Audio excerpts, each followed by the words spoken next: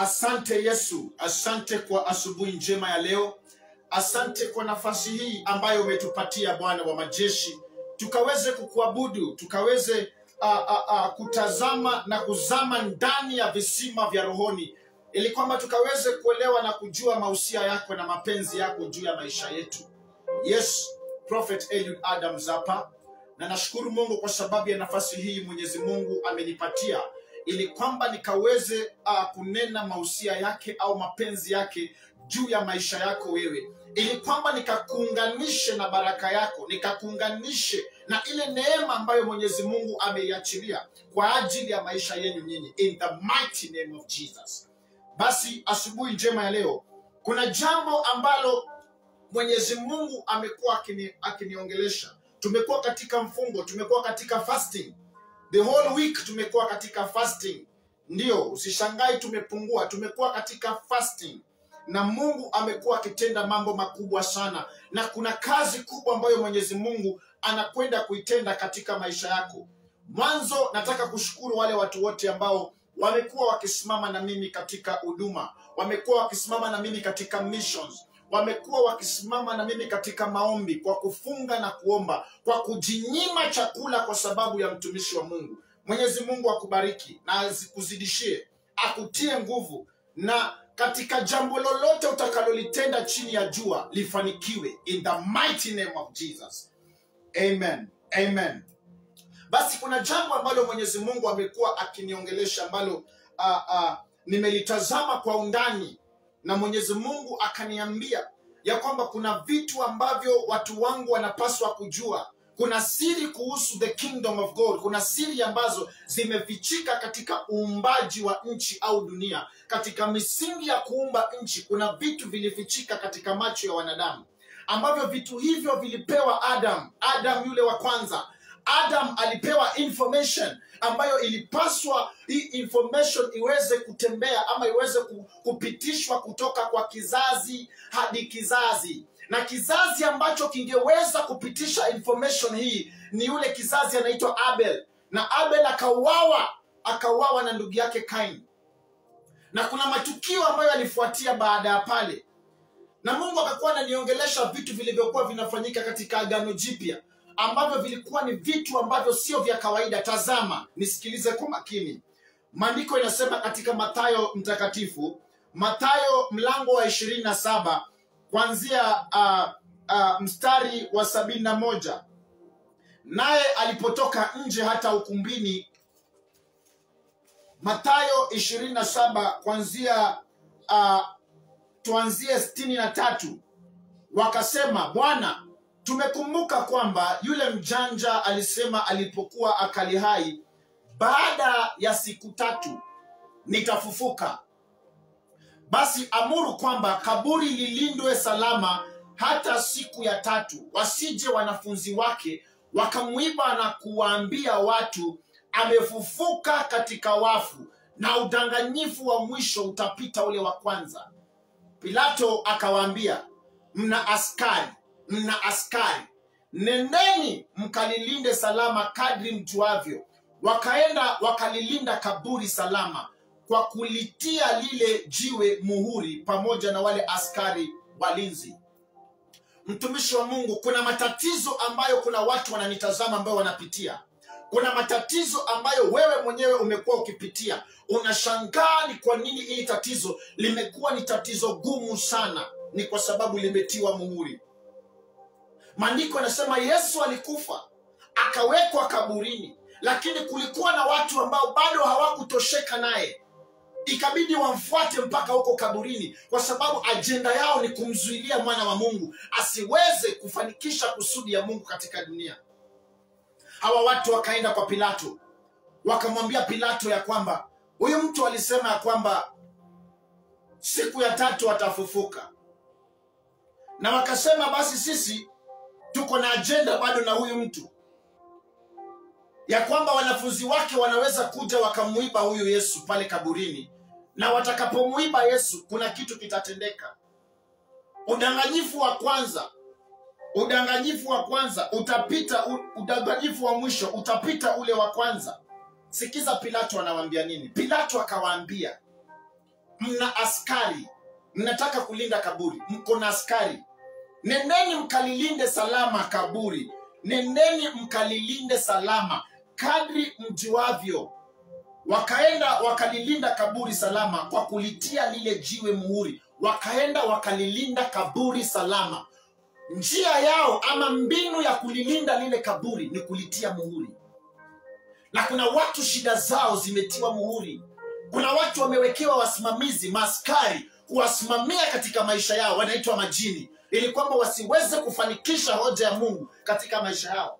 Kuna watu wamewekewa walinzi. Maandiko inasema katika uh, uh, uh, exodus ama kutoka mlango wa kwanza mstari wa kumi inasema basi uh, uh, farao akasema natu watendee kwa akili wasije wakaongezeka wasije wakashikamana na wasije wakatoka kutoka kwa nchi hii. Na kuwatendea wana wa israeli kwa akili maandiko inasema wakaweka wasimamizi juu yao. Wakaweka wasimamizi. Kuna mtu anaitwa msimamizi. Wasimamizi ni nani? Ni majini. Ni mashetani. Majini hawa majoka.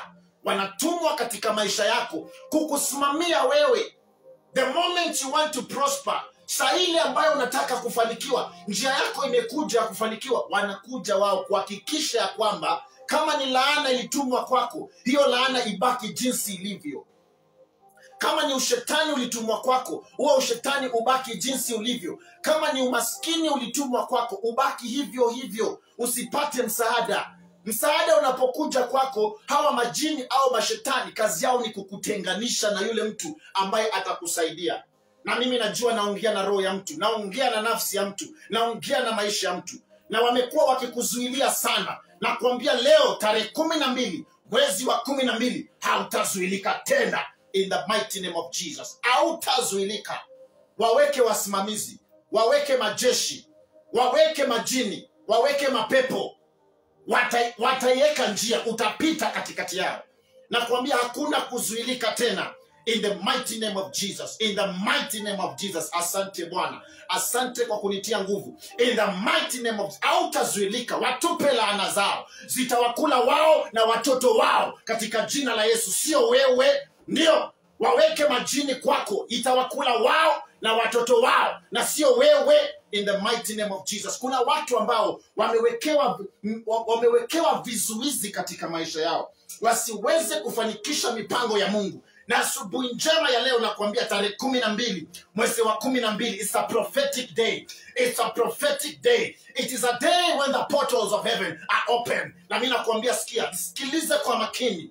Chochote kile kilipangwa katika maisha yako kukuzuilia wewe na watoto wako kitawakula wenyewe. Nasema kitawakula wenyewe. Kitawakula wenyewe. Wote wanaopinga huduma yako wanapinga maisha yako wanapinga kuendelea kwako na kuambia watajipinga wenyewe na sio wewe. Wewe si wakuzuiliwa wewe si wakuzuiliwa wakaenda kwa kaburi wakaliweka lile jiwe muhuri na wale walinzi pia wakapigwa muhuri. Yaani hii ni strategy ya shetani. Hii ni mbinu ya shetani ya kuwazuilia watu wa mungu. Na mimi nakuambia siku ya leo it's a prophetic day. There is a prophecy that is coming away there is a power that is coming away nakuambia utatoka kwa hiyo shida utatoka upende usipende utatoka siko hapa kunegotiate na majini siko hapa sikiliza america does not negotiate with terrorists in the same manner america does not negotiate with terrorists I do not negotiate with demons. I do not negotiate with forces of darkness. They must give way. They must give way in the mighty name of Jesus. Nakwambia watapeana njia, watapeana, wapende wasipende. Walijaribu kukuzuilia huduma, walijaribu kukutumia kwa njia mbaya, walijaribu kukuweka wewe kama mtumwa. na kuambia katika jina la Yesu, that is not your portion. You are coming out in Jesus mighty name. In Jesus mighty. Nisikilize kwa makini, nisikilize kwa makini. Tunakwenda kufundishika kuhusu siri za udongo, siri za udongo, siri za udongo. Kuna siri ambazo Mwenyezi Mungu ameachilia katika maisha ya watu wake. Kuna baraka ambazo Mungu ameachilia katika watoto wake, na hii baraka inakwenda kukufikia, upende usipe, unakwenda kufikiwa. Wanaweza kuichelewesha, wanaweza kuichelewesha baraka yako, ndio watakuchelewesha lakini kukizuilia ni shida. Hawawezi kuzuilia baraka yako. Walijaribu kumzuilia nani? Anaitwa daniel. Wakajaribu kuzuilia maombi yake. Wakafanya mbinu zote wahakikishe ya kwamba daniel hatapokea majibu lakini mimi nataka nikuambie siku ya leo ni siku ambayo mwenyezi mungu anakwenda kukujibu anakwenda kukujibu maisha yako. Na nakwambia ule udongo ambao umekuzuilia wewe utakuachilia. Mahali popote walifanya matambiko mahali popote walifanya uchawi ili kwamba kukuzuilia wewe watakuachilia. In the mighty name of jesus. In the mighty name of jesus in the mighty name of jesus. Kuna mtu anatoka mahali nasikia kuna kuna neema nasikia kuna power ambayo mungu ameachilia siku ya leo. Kuna nguvu ambazo mungu ameachilia siku ya leo ambazo kuna watu wengi watatolewa kutoka misingi ya kichawi. Kuna watu wengi watatolewa kutoka kwa vifungo vya kichawi. Kuna watu wengi watatolewa kutoka kwa laana za wanadamu. Laana za majini laana za mashetani laana za wazazi wao. Kuna watu wanakwenda kutolewa pale.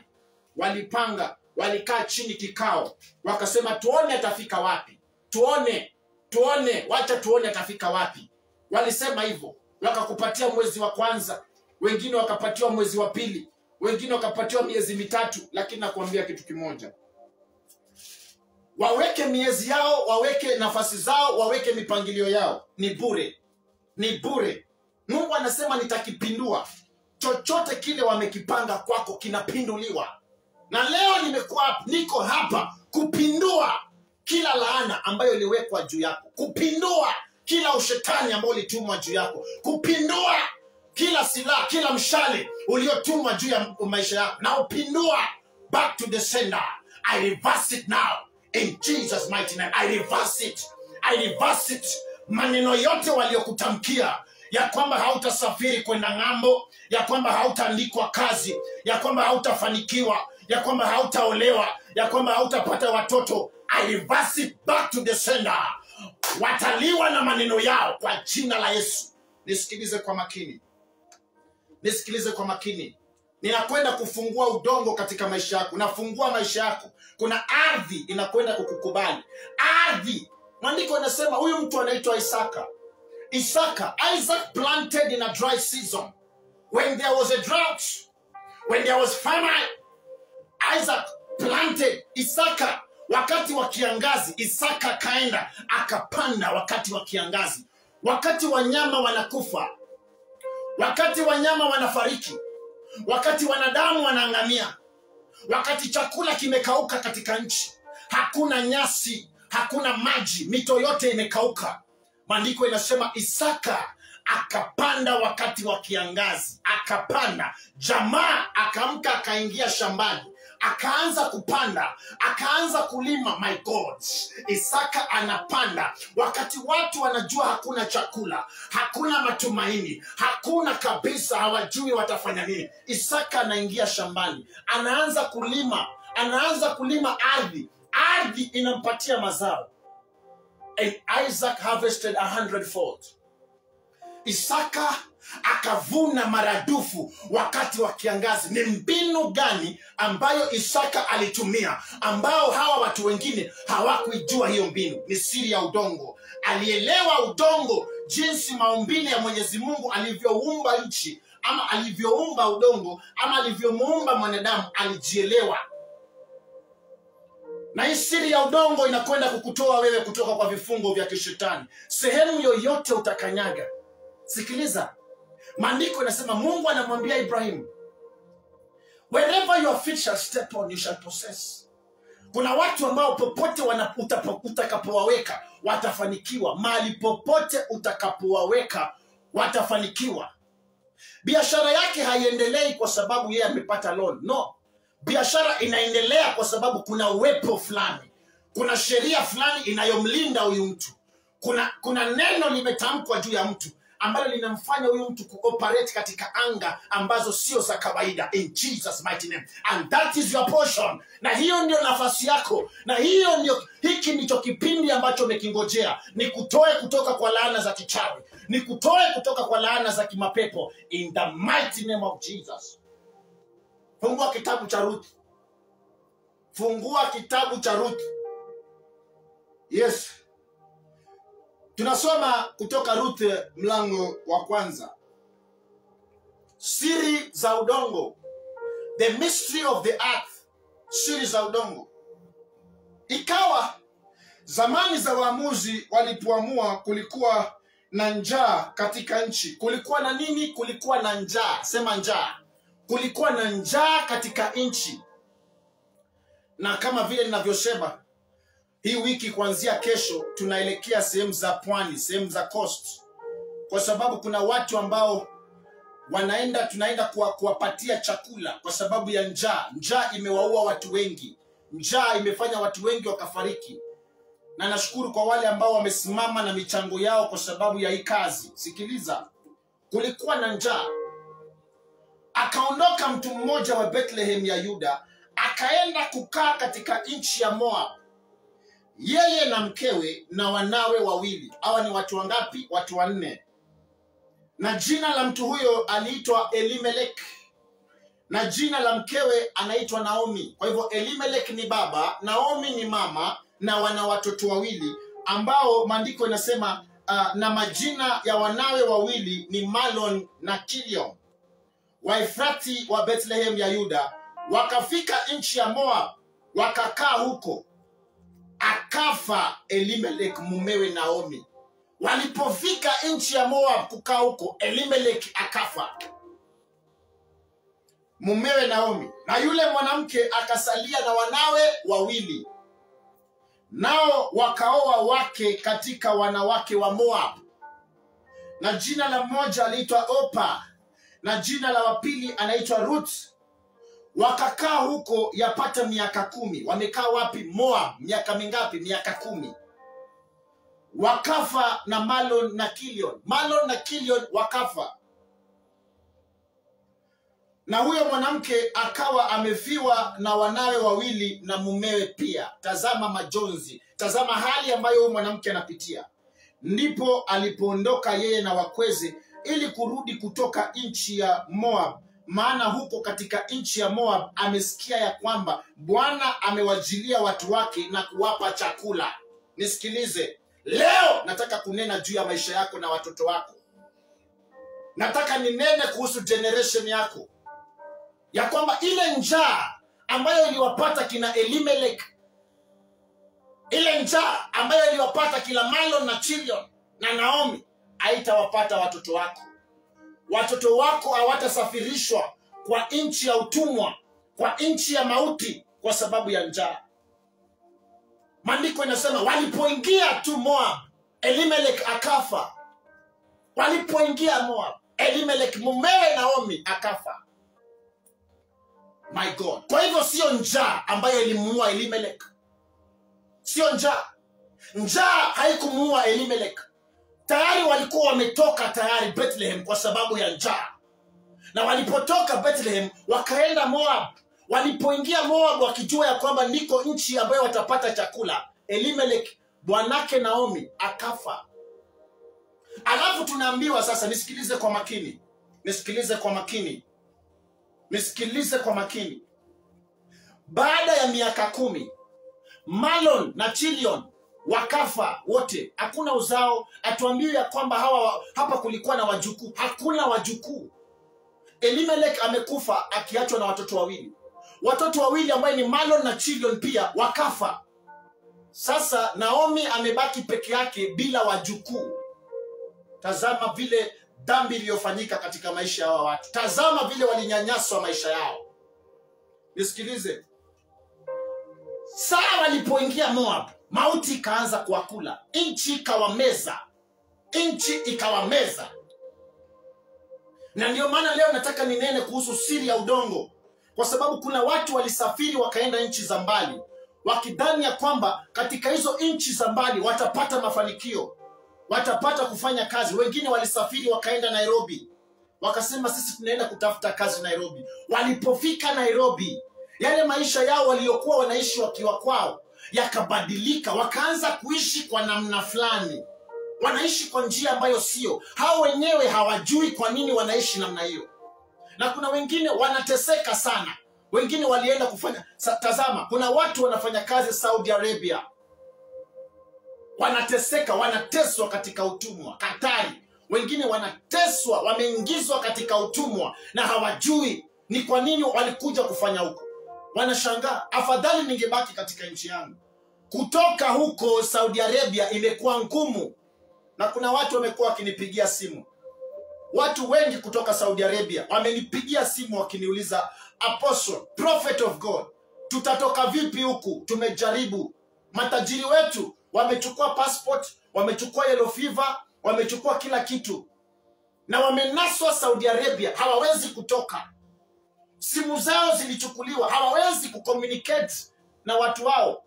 Ni ile tu walikuwa wameingia kwa mtandao wakaniona pale kwa mtandao. Wakasema wacha tuwasiliane na nabii wa mungu. Wakaanza kunipigia simu. Kwa hiyo mimi kuwa hapa kuna watu wengi wanasaidika mimi nikiwa hapa nimesimama kuna watu wengi wanasaidika wanapoisikia hii sauti ya wokovu. Sauti ya yesu inaingia katika maisha yako. Neno la bwana linaingia katika maisha yako unabadilika. Wamenipigia simu wanateseka wamenaswa katika ile nchi hawawezi kutoka. Wana waisraeli walipoingia katika nchi ya misri kwa sababu nini? Waliingia walienda misri kufanya nini? Kulikuwa na njaa njaa. Chakula chakula ilifanya wana wa israeli wakaingizwa katika utumwa my god. Basi wacha tuelewe kuhusu hii mystery ama hii siri ya ardhi. Udongo ni nini kinachofanyika katika udongo? Twende katika kitabu cha mwanzo. Tuweze kuelewa misingi ya kuumba nchi ilikuwa vipi. Maana mungu anasema mbingu ni zangu na nchi ni mahali pangu patakatifu pa kuwekelea miguu. Kwa hivyo miguu ya mwenyezi mungu imekanyaga nchi sijui kama mnanisikia. Nisikilize kwa makini. Mwanzo mlango wa kwanza mstari wa kwanza. Tuelewe vile mambo yalifanyika. The mystery of creation. Vile ambavyo maumbile ama vitu vilivyoumbwa viliumbwa kwa namna gani? Hapo mwanzo mungu aliziumba mbingu na nchi. Nayo nchi ilikuwa ukiwa. Mungu aliumba nini? Mbingu na nchi. Sikiliza. Nchi ilikuwa ukiwa tena utupu na giza lilikuwa juu ya uso wa vilindi vya maji. Roho ya mungu ikatulia juu ya uso wa maji. Mstari wa tisa. Mungu akasema mungu akasema muumba wako yule ambaye alikuumba we mwanadamu akasema maji yaliyo chini ya mbingu na yakusanyike mahali pamoja ili pakavu paonekane. Ikawa hivyo. Mungu akapaita pale pakavu nchi. Kwa hivyo nchi ni nini? Nchi ni sehemu iliyo kavu. Ni sehemu unayoweza kukanyaga. Inaitwa nchi. Udongo. Udongo ni nini? Ni sehemu ya juu ambayo iko katika nchi. Udongo. Ni sehemu ya juu ambayo iko katika nchi ambayo kazi yake ni kusapoti uhai kusapoti production inaitwa udongo. Mungu akasema maji yaliyo chini ya mbingu yakusanyike mahali pamoja ili pakavu paonekane. Kwa hivyo mungu alipoumba nchi na mbingu nchi ilikuwa imefichwa. Na kuna watu vitu vyao vimefichwa vinakwenda kufichuliwa as I'm talking. Kuna vitu vitafichuliwa katika maisha ya watu. Kuna kuna revelation zitakuja katika maisha ya watu. Wataanza kufunguka akili. Wataanza kufunguka macho. Wataanza kuona kwa uhakika kumbe sisi hapa tunapotezewa wakati. Uta, utafunguka macho. Kuna wengine ambao wanafanya kazi katika mahoteli wengine wanafanya kazi katika mabiashara ambayo hawaoni profit lakini hawa, hawawezi kutoka pale kwa sababu wamenaswa katika uchawi. Nchi imewakamata. Macho yako yatafunguka. Nisikilize. Hii, hi, hili jambo nalifundisha ni jambo ambalo limetafutwa rohoni. Nimezama katika vilindi vya rohoni na nikapata information ambayo imekuwa ikiwakula wanadamu na ndio maana nataka ni reveal vitu katika maisha ya watu waweze kubarikiwa. Kwa hivyo tumejua nchi ilipoumbwa ilikuwa imefichwa kwa sababu kulikuwa na maji juu ya nchi. Na mungu akatumia teknolojia fulani ili kwamba ili pakavu au nchi ionekane akatamka maji yaliyo chini ya mbingu na yakusanyike mahali pamoja ili pakavu paonekane. Kuna vitu lazima vitawanywe. Kuna vitu lazima vitawanywe. I'm, I'm talking to somebody here. Kuna watu ambao lazima watawanyishwe na watu wengine ndio wafanikiwe. Ili pakavu paonekane. Ikawa hivyo. Kumi na moja. Mungu akasema nchi na itoe majani mche utoao mbegu na mti wa matunda uzaao matunda kwa jinsi yake ambao mbegu zake zimo ndani yake juu ya nchi. Ikawa hivyo. Nchi ikatoa majani. Nchi nisikilize ni nchi inatoa. Kuna vitu vilikuwa vimefichika katika nchi na kulikuwa na maji imeficha nchi na mungu anapotamka anaanza ku- kurivili ya kwamba kuna nchi ipo ipo ipo. Na mi nakuambia nafasi yako kule juu iko iko. Umefinikwa macho na mambo mengi ya kimaisha. Ni wanadamu wamekufinika macho wa kuonyesha kwamba you cannot do it. Kuna kuna marafiki tu wakija katika maisha yako. Wewe kazi yao au marafiki ni kukufunga macho. Leo ninawatenganisha na wewe. Na, na kutenganisha na hao marafiki katika jina la yesu. Na kutenganisha na hao watu ambao wamesimama katika maisha yako kukupofusha macho usiweze kuona destiny yako iko namna gani. Sikiliza. Mungu akasema nchi na itoe majani nchi ikasikia nchi ikafanya nini? Ikatoa. Kumi na tano. Tena kumi na mbili nchi ikatoa majani. Sawa sawa twende pamoja. Nataka twende pamoja. Sitaki kuacha mtu nyuma. Sitaki kuacha mtu nyuma. Sitaki kuacha mtu nyuma kabisa. Mungu akasema ambapo tuko kwa kumi na nne. Mungu akasema na iwe mianga katika anga la mbingu ili itenge kati ya mchana na usiku ikawa na nayo iwe ndiyo dalili na majira na siku na miaka. Tena iwe ndiyo mianga katika anga la mbingu itie nuru juu ya nchi. Itie nuru juu ya nchi si mwangaza. Itie nuru juu ya nchi. Ikawa hivyo. Mungu akafanya mianga miwili mikubwa ule mkubwa utawale mchana na ule mdogo utawale usiku akafanya na nyota pia. Mungu akaiweka katika anga la mbingu itie nuru juu ya nchi itie nuru juu ya nchi. Tazama I'm, I'm, trying to, to, to, to, to give you a revelation concerning the earth. Vile nchi ilivyoumbwa wewe unaishi katika nchi auishi mbinguni. Wewe unaishi hapa duniani auishi katika hewa utapanda ndege itatua itaenda juu itashuka hapa hapa tu. What goes up must come down. Tupa jiwe juu litakuja chini. Mungu akaona ni vyema. Mungu akasema ishirini na nne mungu akasema nchi na izae kiumbe hai kwa jinsi zake nchi na izae sikiliza kwa makini. Mungu anaitamkia nchi. Haya maneno yametoka kwa mwenyezi mungu. Anatamkia nchi. Anasema nchi na izae nchi na izae kiumbe hai kwa jinsi zake. Kitu cha kwanza tumeona nchi iliambiwa itoe majani ikatoa.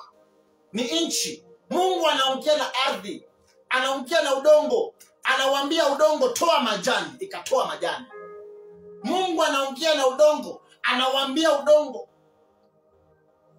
Mungu akasema nchi na izae kiumbe hai kwa jinsi zake. Nchi izae nchi ikazaa my god. Ishirini na sita mungu akasema na tumfanye mtu kwa mfano wetu kwa sura yetu wakatawale samaki wa baharini na ndege wa angani na wanyama na nchi yote pia kila kitambaacho juu ya nchi wakatawale na nchi yote pia. Mwanadamu aliwekwa kuitawala nchi yote pia. Kwa hivyo ile ile teknolojia ambayo mungu alitumia kuitamkia nchi ndiyo vile vile ambavyo mwanadamu alipewa the same same capacity ya kuongea na ardhi na ardhi ifanye vile ambavyo mwanadamu anataka. Sijui kama unanielewa. Mungu akasema na tumfanye mtu kwa mfano wetu kwa sura yetu wakatawale. Watawale nini? Watawale samaki wa baharini na ndege wa angani na wanyama na nchi yote pia. Kila kitambaacho juu ya nchi. Ishirini na nane. Mungu anazidi kuongea zaeni mkaongezeke mkaijaze nchi. Zaeni. Mungu anamtamkia mwanadamu zaeni mkaongezeke mkaijaze nchi. Tumejua ya kwamba nchi inaweza kuzaa na nchi inazaa kiumbe hai kwa jinsi zake according to the book of genesis chapter 1 from verse 24 mungu akasema nchi na izae kiumbe hai kwa jinsi zake. Nchi inaambiwa izae. Alafu tunapata ya kwamba verse 28 of the same genesis chapter 1 tunaona kwamba mungu anazidi kutamka anamwambia mwanadamu zaeni mkaongezeke. Kwa hivyo nchi inaweza kuzaa. Mwanadamu anaweza kuzaa. Sawasawa sawasawa na tumejua kwamba nchi inazaa kiumbe hai. Kiumbe sio tu kuzaa. Inazaa kiumbe hai. Chochote kinachotoka kutoka kwa nchi lazima kiwe na uhai. Nchi na izae kiumbe hai kwa jinsi zake kwa jinsi zake. Kama ni punda atazaliwa akiwa hai kama ni ng'ombe atazaliwa akiwa hai kuna watu ambao wakifuga kitu kinakufa. Wameweka ng'ombe wakafa wakaweka punda wakafa wakaweka kuku wanakufa wenyewe. Hawajui ni nini. Na ndio maana niko hapa nikufundishe siri ya udongo. Mungu anaiambia nchi itoe majani nchi inatoa majani. Mungu anaiambia nchi izae kiumbe hai kwa jinsi zake nchi inazaa. Mungu anamwambia mwanadamu zaeni mkaongezeke mwanadamu anazaa kwa hivyo mwanadamu na nchi sawasawa tu kitu kimoja. Mwanzo mlango wa pili mstari wa tano.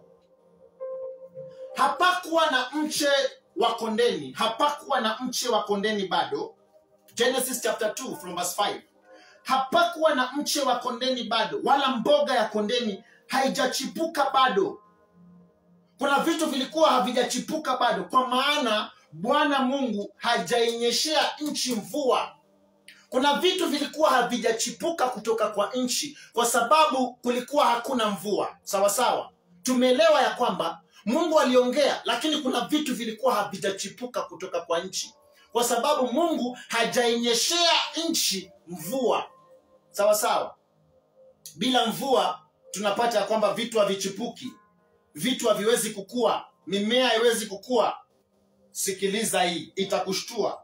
Wala hapana mtu wa kuilima ardhi.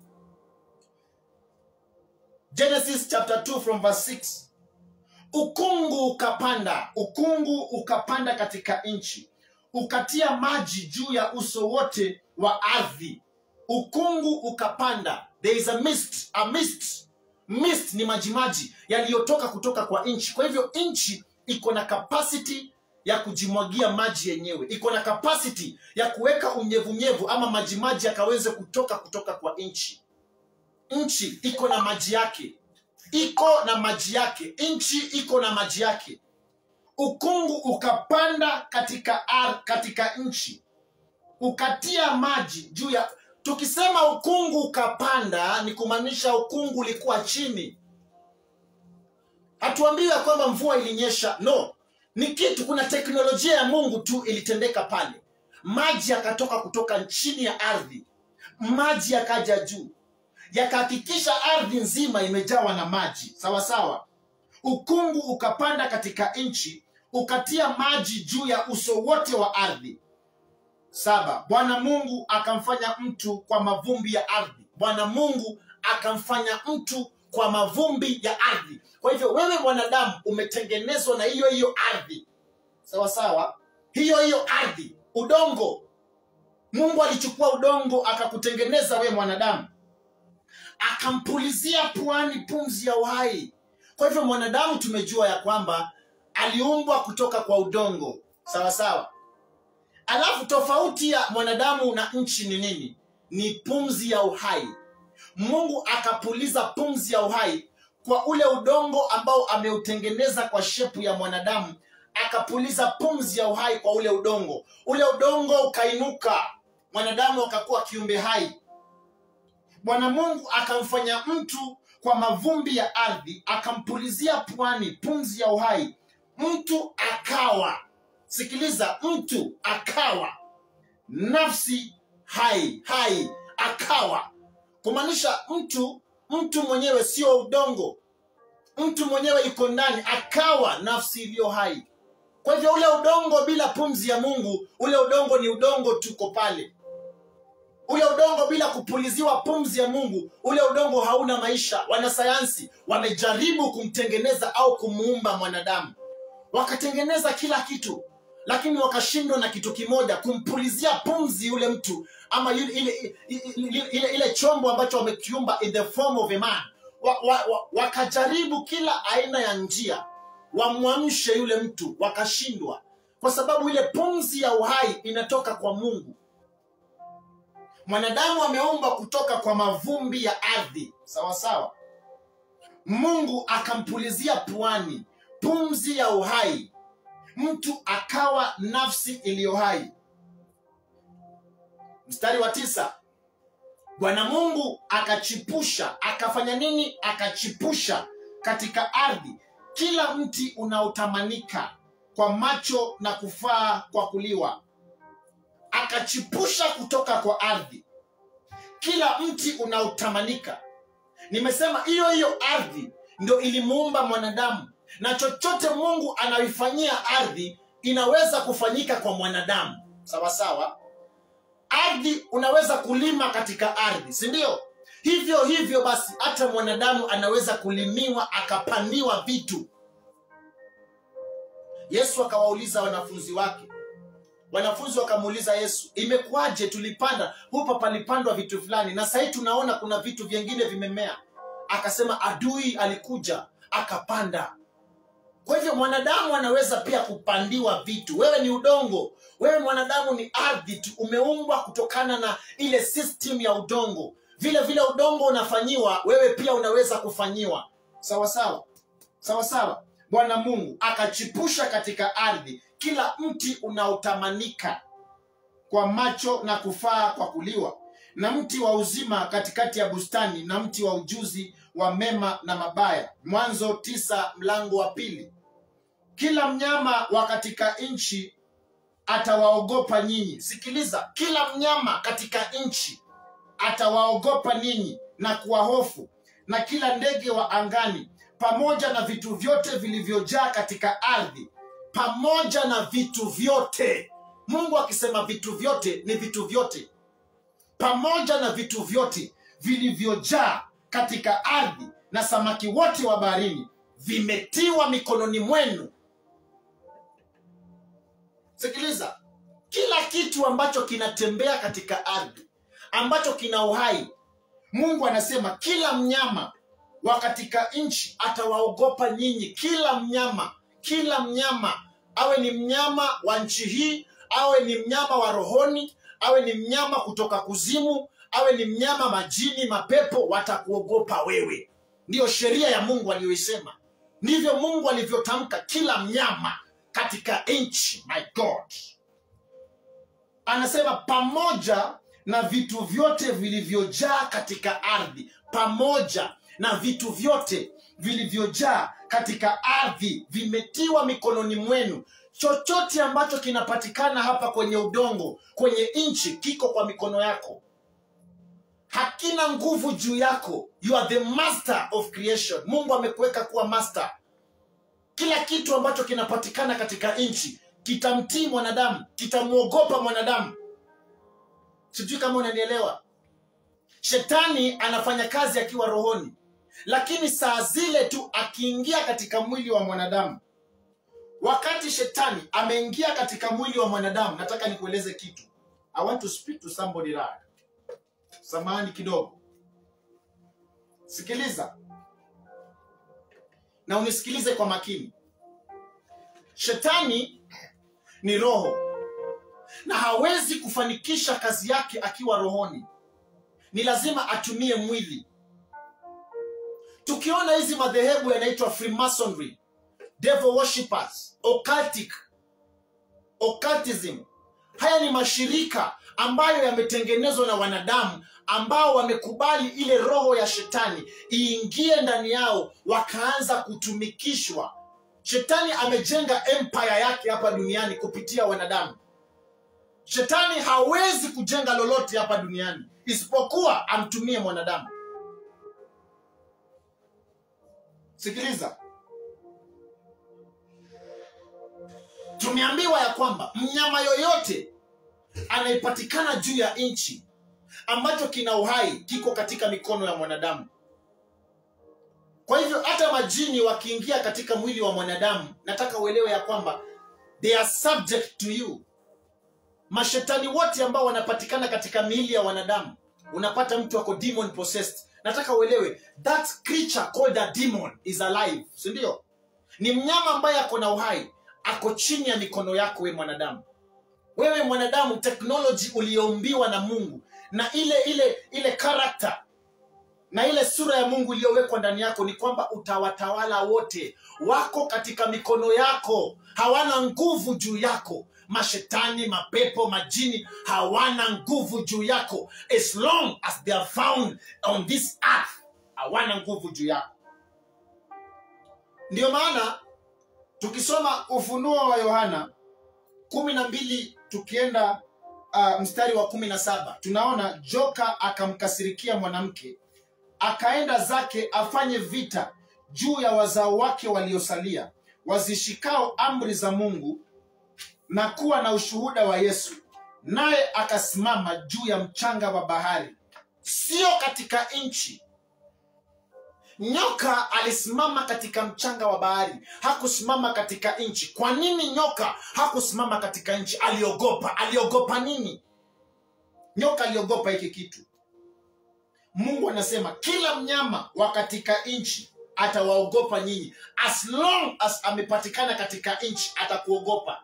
Na shetani alijua ya kwamba saa zile nita, nitajiweka katika nchi niko chini ya mikono ya mwanadamu sina uwezo kabisa shetani anajua hana uwezo. Ndio maana unapata kuna utawala ama ufalme wa baharini.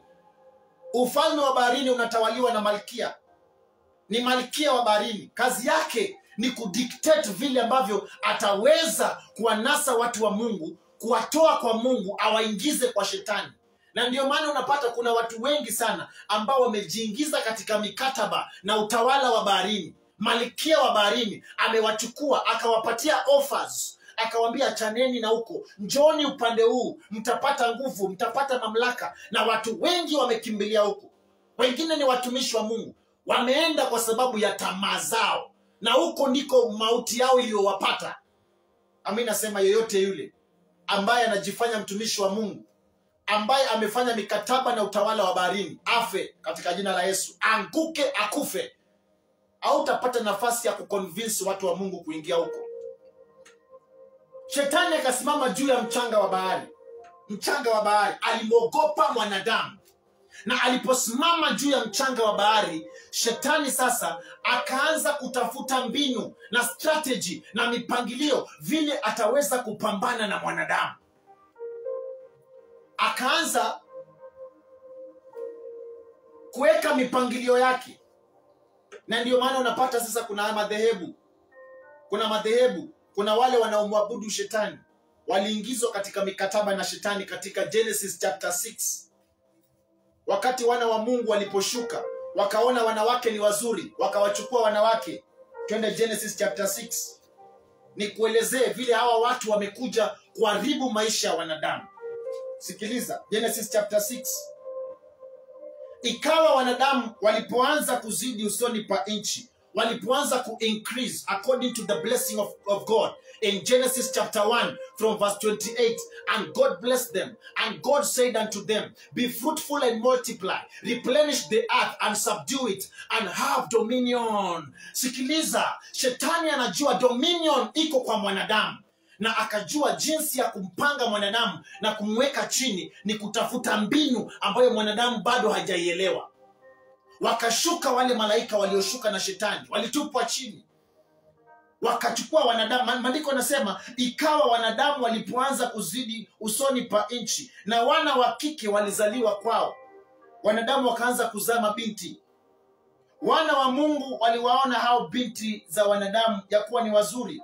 Wakajitwalia wake wowote waliowachagua. Wakajitwalia wake wowote.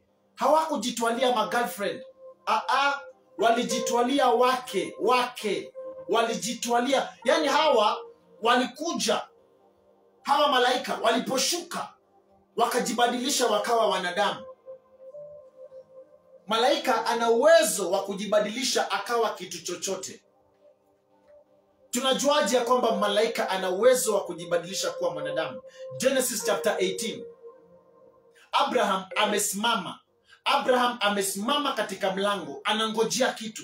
Amewaona hawa jamaa wanapita akawaalika ndani akawapikia chakula akawachinjia mpaka mifugo akawapatia nyama. Wakaanza kukula. Walipomaliza kukula watu hawa wanaondoka wakasema je tutalificha hili jambo kwa abraham kweli? Wacha tumwambie. Wakampatia siri abraham ya kwamba sisi ni malaika na tumetumwa na mungu twende tukaangamize sodom kwa hivyo abraham alikuwa anakula pamoja na malaika.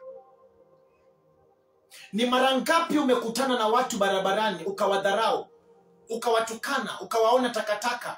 Wengine ni machokoraa wengine hawana makao wengine wanakuomba pesa barabarani unashindwa unawaangalia unawasonya, una, una unawadharau. Kumbe ni malaika ako pale amesimama. Kumbe ni malaika amekaa pale. Hujui ni mara ngapi wewe umewaona watu wako na njaa wanataka chakula wanakwambia nisaidie na chakula nikule niko na njaa. Alafu ukamfukuza huyo mtu kumbe ndo alikuwa ndio muujiza wako. Ni malaika wako yule ametumwa kwako. Lakini kwa sababu roho yako imejawa na giza ukashindwa kuona opportunity ambayo mungu amekupatia.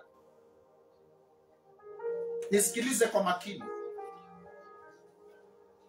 Siri ya udongo. Walijitwalia wake wakaanza kuzaa na wao.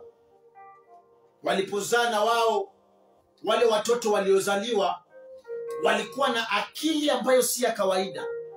Dna ya wale watoto ilikuwa ni ya wale malaika walioanguka. Unajua mtoto anafanana tu na babake. Akili ya mtoto sawasawa ni ya babake. Maisha ya mtoto uwezekano mkubwa anaishi kama babake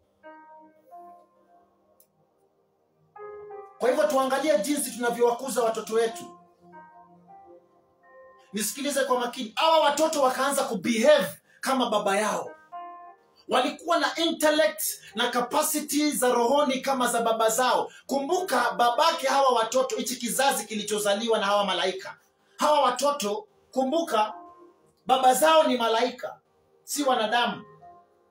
Na vile vile ambavyo malaika walivyo ndivyo hawa watoto walivyo. Kwa hivyo hawa watoto walikuwa na uwezo wa kuoperate wakiwa rohoni na kuoperate wakiwa katika mwili. Sijui kama unanielewa. Baba za hawa watoto ni malaika. Hawa watoto wakahakikisha ya kwamba wamezaa kwa wingi. Yaani ajenda ya hawa watu ni kuzaa. Kumaanisha hawa malaika walioshuka walikuwa wengi sana wakazaa na wanawake. Waliwachukua kihaki. Maandiko nasema wakajitwalia waka, waka wake. Wake ni mke ambaye umeenda ukalipa mahari. Ni mke wako ambaye umeenda ukajiintroduce kwa wazazi wake. Kwa hivyo ni malaika alikuja akajiintroduce kwa babako. Akajiintroduce na kutaka wewe. Na yule mzee akamwona ni mwanadamu akamwambia mchukue mtoto wangu. Wakalipa vyote walivyolipa wakaweka maagano akamchukua mke kihaki akazaa naye. Akazaa kiumbe ambacho ni mwanadamu kwa umbo lakini akili intellect ujuzi mienendo yake ufahamu wake ni ubaya tu. Ubaya. Awa watu walikuwa walikuja na ajenda ya kuharibu wanadamu. Walikuja na ajenda ya kuharibu mipangilio ya mungu. Sikiliza kwa makini. Sikiliza kwa makini sasa sitaki kwenda huko sana. Hilo ni funzo lingine. hilo nitakuja niwafundishe kuhusu wana wa mungu ama malaika ni kina nani. Sasa tumegundua ya kwamba nchi ilipoumbwa nchi ilipewa characteristics fulani. Vile vile mwanadamu alipoumbwa mwanadamu anaweza kutembea anaweza kula anaweza kuoga anaweza kupika mwanadamu anaweza kucheka anaweza kuongea. Hizi ni characteristics za mwanadamu. Nchi pia iko na characteristics zake. Nchi iliumbwa na mipangilio yake. Sijui kama unanielewa. Na nchi ilipoumbwa tunaona mungu anaiambia nchi itoe majani. Nchi inatoa. Nchi inaambiwa izae kiumbe hai kwa jinsi zake. Nchi inaambiwa izae. Izae. Nisikilize kwa makini mwanadamu nchi inaambiwa izae nchi ikazaa.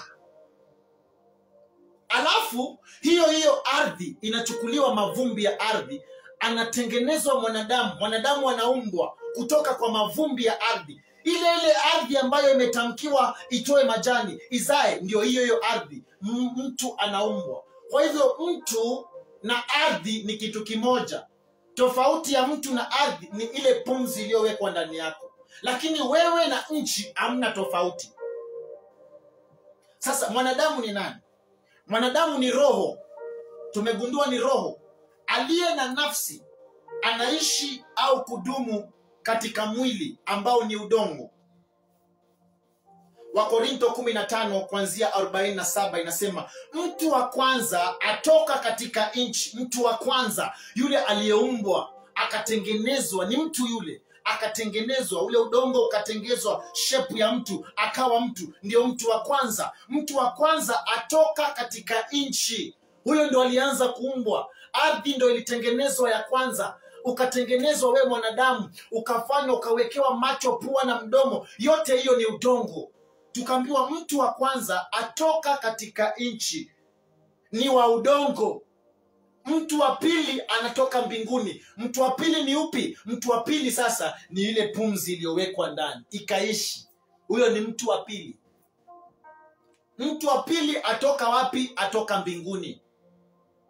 Mwanadamu ni udongo ama mavumbi. Sawasawa na nchi tu. Isaia 64 kuanzia mstari wa nane. Lakini sasa e bwana wewe ubaba yetu sisi tu udongo sikiza nabii anavyosema isaia nabii Isaia, nabii wa mungu anajua anajitambua ya kwamba yeye ni udongo. Lakini sasa e bwana wewe ubaba yetu sisi tu udongo nawe umfinyanzi wetu wewe ndo ulitutengeneza. Sisi wote tu kazi ya mikono yako. Ayubu 33 kuanzia mstari wa sita. Tazama mimi ni mbele ya mungu kama alivyo wewe mimi nami nalifinyangwa katika udongo. Ayubu anajua alitengenezwa kutoka kwa udongo. Mwanzo mlango wa pili kuanzia kumi na tano. Bwana mungu akamtoa huyo mtu akamweka katika bustani ya eden ailime na kuitunza. Wana wawili wakazaliwa kwa adam kain na abel. Kain alikuwa mkulima wa ardhi. Abel alikuwa mchunga kondoo sawa sawa. Mchunga kondoo. Ardhi ilikuwa imekwisha kulaaniwa. Kwa hivyo kuilima ardhi ilikuwa sio hawezi kupata mafanikio kutoka kwa laana. Sikiliza. Ardhi ilikuwa imekwisha kulaaniwa. Mungu alipendezwa na sadaka ya abel.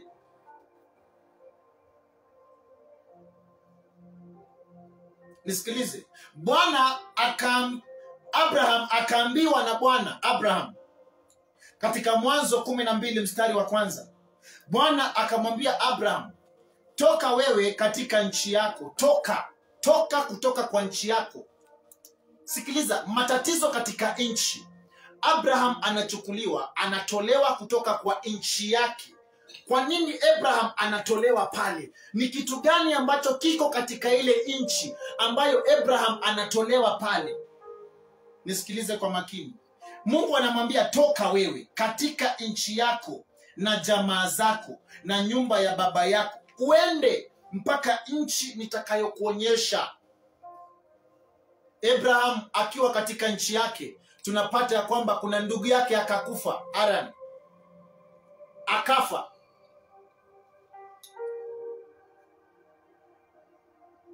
alikufa kabla ya babake nchi ambayo ilikuwa inawameza watu. Katika hiyo hiyo nchi tunaambiwa kwamba sara sarai ambaye ni, ni, ni, ni, ni, ni, mke wa abraham alikuwa tasa hawezi kujifungua.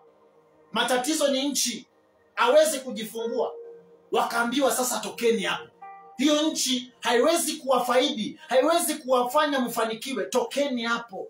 Wakatenganishwa na baba yao na nchi yao abraham akainuka akaanza safari. Mtu wa miaka sabini na tano mzee anaanza kutembea. Ni kana kwamba amechanganyikiwa. Labda hata ndugu zake walimwangalia abraham wakajua huyu ni kuchanganyikiwa amechanganyikiwa.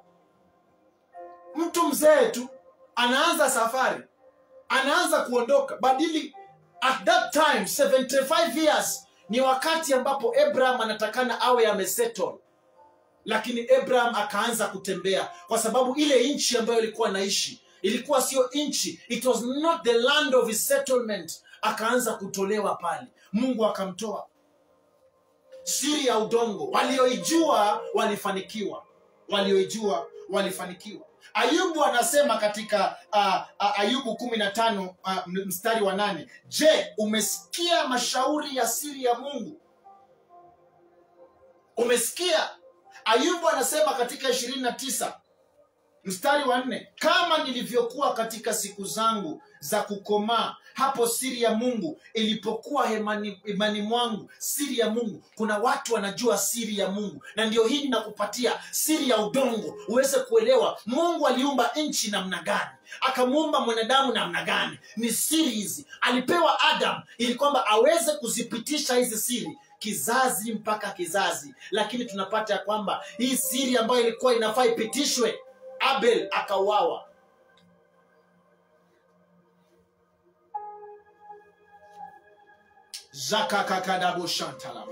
siri ya bwana iko kwao wa mchao naye atawajulisha agano lake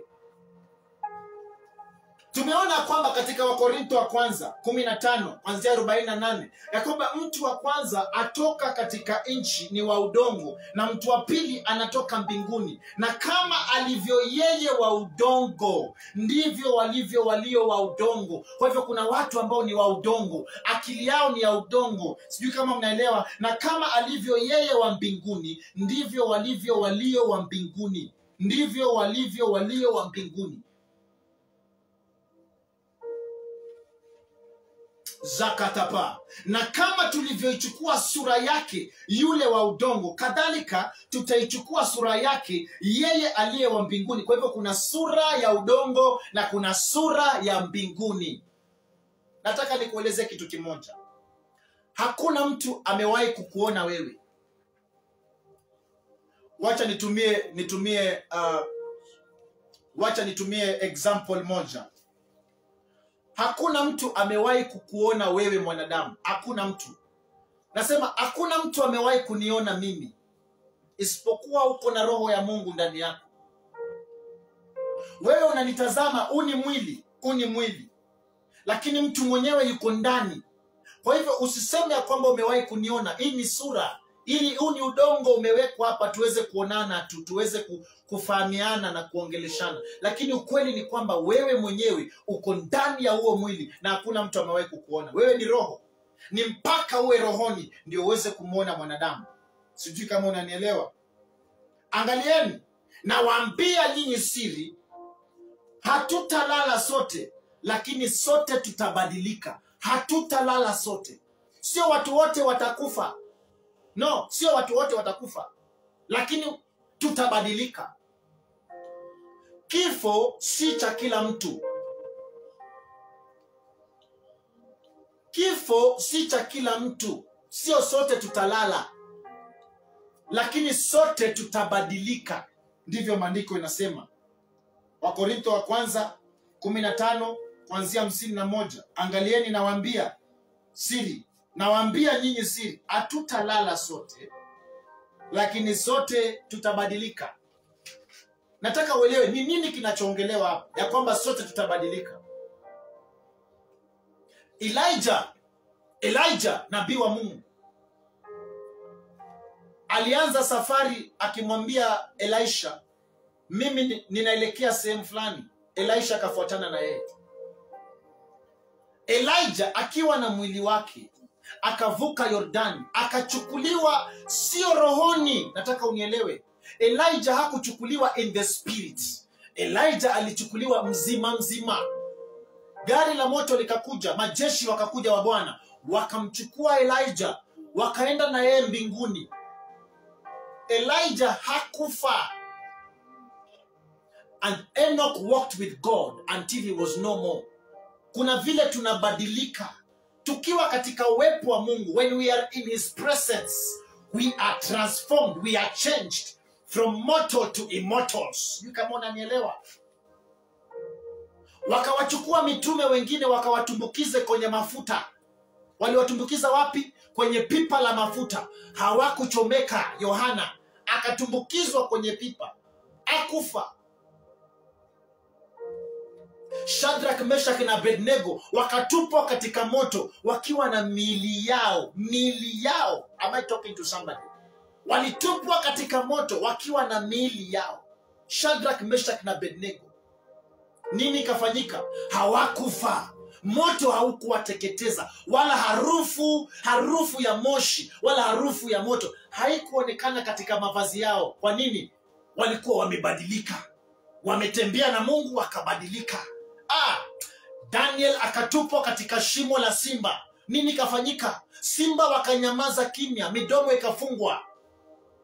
Simba walimtazama walimtazama daniel wakamtazama kwa makini wakajua huyu si mtu wa kawaida. Walinyamaza walinyamaza. Na mimi nasema kwa jina la yesu wote waliofungua midomo yao juu ya maisha yako wanyamazishwe kwa jina la yesu. Wafungwe midomo katika jina la yesu midomo na makanwa ya simba midomo ya kusengenya midomo ya laana ambayo imetamkwa juu yako leo nimeifumba nimeifumba. Laana zao zitawakula wenyewe na watoto wao. Zakamanababosha zantagadaramusha senteriberibebianta in the mighty name of jesus zitawakula wenyewe na watoto wao na mtu akaniuliza kwa nini kwa nini kwa nini prophet wa mungu unapenda kusema waliwe wao na watoto wao? Kwa sababu ni kizazi kile. Kama vile baba alivyo ndivyo watoto walivyo. Na kama wewe mzazi unatamka maneno yasiyofaa kwa nabii kufa kwa jina la yesu. Kizazi chako kisionekane tena hapa duniani. Yes. Yes. Hautazuilika tena. Midomo imeinuka juu ya watumishi wa mungu sana midomo ilininukia mimi mwenyewe. Midomo wakaniongelesha wakatupa malaana zao wakatamka malaana zao. Iwapate wao na watoto wao iwakule wao na watoto wao. Watoto wao waangamie kabla ya wakati wao. Kwa jina la yesu. Walinitupia midomo. Sijui ni nini walikiogopa kwangu sijui. Lakini mimi nasema ikiwa niliitwa na bwana ikiwa niliitwa na mungu ikiwa watoto wao wamezwe na hiyo laana yao. Na mi nakwambia it is your portion. Mtu yoyote alikutamkia laana akakuongelesha mambo yasiyofaa iwakule wao na watoto wao. Wamezwe wamezwe wamezwe na ardhi wamezwe. Nchi iwakamate katika jina la yesu. Waporomoke waporomoke usiku na mchana wasipate mafanikio. Ndiyo walinitamkia mambo ambayo siyaelewi wengine ni watu nilisimama na wao nikasimama na wao kwa uaminifu wakatamka mambo yasiyofaa. Nikawaangalia nikajua hapa hakuna mungu tena. Iwapate watoto wako katika jina la yesu. Katogoboshakatapa lote ndibakata. Iwakule watoto wako. Ikumeze pia wewe. Ikumeze. Mungu akuanike akuanike mbele ya wanadamu. Wakujue wewe ni nani. Wakuanike mambo unayoyafanya kwa siri mungu akuanike. Rimashanta rababosa akuanike. Rakata rakata. In the mighty name of jesus. Siku moja utaanikwa. Utaanikwa. Utaanikwa utaporomoka wewe sio mimi. Utaporomoka wewe. Hii kazi ni ya mungu. Wangapi wanasaidika hapa? Wangapi wanasaidika? Unajua ni watu wangapi wamefunguliwa macho? Watu wengine wameona kwamba kama kazi ya mungu ni utajiri ni pesa tu. Ni pesa tu. Wanaona ni pesa watumishi wa mungu wanatafuta pesa. Ni pesa wale ni pesa. Wewe unaona ni pesa hii? Nilipigwa shoka nimegaramika kwa sababu ya kristo.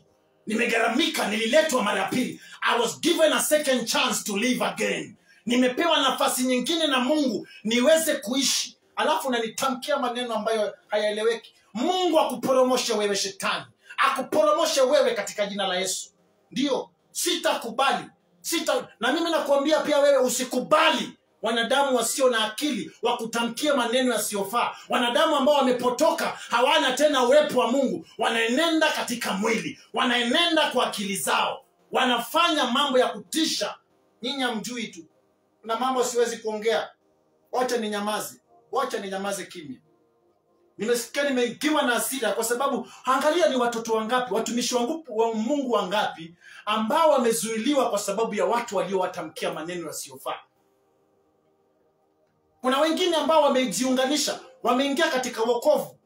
Wame- wamempokea yesu kristo kama bwana na mwokozi wa maisha yao. Alafu hapo hapo kanisani kuna baadhi ya watu tu kazi yao ni kukupinga. Wewe unataka kuingia worship? Eh, itabidi uingie katika maombi mwaka mmoja na nusu una akili wewe. Mtu anataka kumtumikia mungu mpatie nafasi aweze kuexpress passion yake ya mungu. Wewe unamzuilia. Wangapi ambao vipawa vyao vimeanza kulipuka vimeanza kufanya kazi wakazuiliwa. Wamezuiliwa wakaitwa majina. Wakawekewa maskandal ili kwamba wasiweze kufanikiwa. Wangapi wamepewa habari wanasengenywa wana, kuhusu jina langu? Wangapi kuna watu tu ambao wanapewa wanapewa information. Hey, prophet edward adams ana maana afai oh sijui nini. Oh sijui nini. Oh sijui sadaka. Oh sijui ulitumana pesa. Oh sijui nini. Sikiliza kwa makini. Sikiliza kwa makini. Mimi namtumikia mungu aliye juu. Namtumikia mungu aliye juu. Na kama mungu kweli anajua hii kazi ninaifanya kutoka kwa moyo wangu yeye wacha ahukumu kati yangu na wewe kama kweli nilifanya hii kazi kwa sababu mimi nataka mimi niliitwa niliitwa nimeacha watu wangu nimetengwa na watu wangu wamenitenga kwa sababu ya kristo. Wewe unasema nini? Nimetengwa. Mara ngapi mimi wanadamu wameniinukia kwa sababu ya yesu tu? Wacha tuone yesu wako atakupeleka wapi. Hatushindani kwa huduma hatushindani. Hatushindani kwa huduma. Wewe kama unafanya huduma kwa sababu ya pesa fanya huyo hiyo ndio uliitiwa kama, una, kama ni kushindana kwa sababu ya pesa no. The glory of god cannot be equated to money. The glory of god cannot be equated to your cars or wealth. The glory of god cannot be equated to any physical thing. No no no. No matter how millions you have it cannot be equated to god's glory. Hii kazi ni ya mungu na tusimame pamoja tukaweze kuwakomboa watu kutoka kwa vifungo vya shetani. Na mimi ninapinga watu wote ambao wanawazuilia watu kanisani wasiweze kuexpress mungu na wapinga wao. Kanisa si nyumba yako ni nyumba ya mungu. Umesikia watu wakianza kusema kanisa langu kanisa langu. Nani amekuambia kanisa ni lako? Nani amekwambia kanisa ni lako? Yesu anamwambia petro wewe ni petro na juu ya mwamba huu nitalijenga kanisa langu. Kanisa ni la nani? Ni la yesu. Nitalijenga kanisa langu na milango ya kuzimu haitaiweza kutakadababosha. Sikiliza yesu anasema nitalijenga kanisa langu. Wewe sasa umeanza kutamka maneno yasiyofaa. Oh kanisa langu washirika wangu. Nani amekwambia washirika ni wako go and make ye disciples. Disciples ni wanani ni wa yesu si wako. You have to be like christ uwe kama yesu. Ndio maana tunaitwa christians. We are like christ. Tabia yetu ni kama kristo. Akili zetu kama kristo. Upendo ni upendo wa kristo. Angalia vile ambavyo watu wameacha wameacha pattern ya mungu wakaanza kufuata patani yao wakaanza kuweka masharti yao alafu hawa watu ndio watu ambao wamewaongoza watu wengi kwenye mashimo wamewaongoza watu wengi wakatumbukia kwenye mashimo. Watu ambao hawataki mwingine ainuke ni wao tu ni wao tu ni wao tu. Mimi nampenda yesu sana nampenda yesu sana na nitakuhubiria kuhusu yesu na sitachoka sitachoka. Hiyo ni kitu ikuingie kwa akili. Sitachoka kukuhubiria kuhusu yesu. Sitachoka kukuombea sitachoka kufunga na kuomba. Sitachoka mimi kabisa. Nimepewa maisha tena. This is my second chance I've been given by god. Wewe bado unaishi. Aujui kukufa ni nini wewe. Aujui aujui kukufa. Aujui uchungu wa kukufa. Ujui nilipelekwa wapi. Nilipokuwa nimepigwa shoka limeingia kwa kichwa niko chini kwenye udongo pale. Unajua ni nini kilichotendeka unajua ni nani walisimama na mimi pale? Ni yesu peke yake ambaye alisimama na mimi. Wanadamu wote walikimbia. Wakasema amekufa amekufa amekufa huyu amekufa. Wakakimbia. Lakini mwana kondoo wa mungu alikuwa kando yangu pale. Amesimama ananiangalia. Ananiambia angalia mwili wa mwanadamu. Wakati wanapiga shoka wananipiga shoka kwa kichwa wananipiga shoka kwa kichwa. Wanaweka shoka. Mwingine anapiga chuma huku. Wanapiga kichwa tu kichwa tu. Wana, mimi nilipigwa kichwa niangamizwe kama nyoka. Wananipiga wananipiga kichwa. Niko pale. Nimepoteza fahamu. Roho yangu imetoka kutoka kwa mwili. Naangalia mwili wangu vile wanavyoufanya. Kumbe ndo nilikuwa nimeenda pale. Mwili wanapiga kichwa. Inadunda kwa kichwa di inafanya hivi. Inafanya hivi. Napigwa kichwa pigwa shuru, pigwa kichwa. Pigwa kichwa wameniweka wanaume wanne wanapiga kabisa. Weka shoka weka kichwa. Piga chuma kabisa. Piga ye uwa yeye uwa nilikuwa na pesa. Nilikuwa na pesa. Iko kwa bagi yangu. Zaidi ya kama elfu tano. Nilikuwa na digital camera yangu. Tumetoka ibada maombi friday kesha. Asubuhi naenda nyumbani. Kumbe walinipangia. Usiku huo huo walikaa kikao wakanipangia wakanipiga shoka kwa kichwa. Nikaenda chini. Walinipiga shoka ni wapi niliwakosea kwa kumtumikia mungu? Ni wapi niliwakosea? Sikutaja mtu. Na, nataja mungu. Nahubiri yesu. Wanadamu wananinukia. Wananinukia. Kwa sababu tamaa zao ni za gizani. Tamaa zao ni mambo ya duniani. Na ndio tofauti kati yangu na wewe na siku utatoka kwa hizo tamaa ujiachilie moyo wako na akili yako. Umwambie yesu mimi hata pesa kwangu sio tatizo. Sijafungwa mimi na manyororo ya pesa ambayo kumtolea mungu ninaona nikana kwamba ninamtajirisha nabii wa mungu. Au nitajirishi mimi? I've been given a second chance. Wewe hawezi kunipatia maisha. Uwezi uwezi kunipatia maisha. Uwezi namtumikia yule ambaye aliniregesha tena hapa duniani wakanipiga shoka jamaa wakasema tumue amekufa amekufa. Alafu pale yesu amesimama na mimi ananiambia angalia mwili wa mwanadamu. Angalia mwili wa mwanadamu. Nikachukuliwa pale na watu wakanipeleka coast general hospital. Nimebebwa pale nimepelekwa coast general. Mimi tayari roho yangu inaangalia naenda na mwili wangu tu natembea. Hao wako kwa tuktuk wamenibeba wananipeleka hospitali na mimi niko pale natembea. Ninauangalia mwili wangu vile unavyotokwa damu. Shati yangu ilikuwa ya cream. Ilijaa damu yote ikakuwa pure red. Pure red. Shati yangu ilikuwa red yote imejaa damu. Yaani nilitokwa na damu nyingi mpaka siku hizi nimetamani hata siku moja niongeze ka kilo ninone kidogo. Imekuwa shida. Damu iliyomweka wakati ule ni nyingi. Ninahubiri injili. Mpaka siku ya leo ninapohubiri nasikia uchungu hapa nasikia uchungu kwa kichwa nasikia kichwa. Ninahubiri macho yanauma kwa sababu ya mishipa. Kuna vile walivyonishona yani walishona tu rafurafu nilipelekwa kule nilipofika kule utanisamee siri ya udongo tunazidi tutaendelea bado lakini hii nasikia moyo wangu ni kuambia haya mambo ni kuambia haya mambo. Nimepelekwa hospitali pale. Daktari ambaye anafaa aje anishone ako sehemu ya mariakani. Almost almost uh, uh, uh, uh, uh, almost 80 80 to 100 kilometers. Na daktari mwenyewe hiyo hiyo siku asubuhi daktari mwenyewe anaumwa na moyo. Moyo wake unamuuma. Ameenda mariakani hospital kwa daktari mwenzake. Aangaliwe moyo kwa sababu ameshindwa.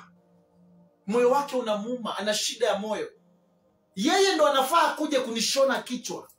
Mimi nimelala kwa kitanda. Damu inamwagika. Wamenifungafunga vijibandage zao. Bandage imejaa damu mpaka inamwagika.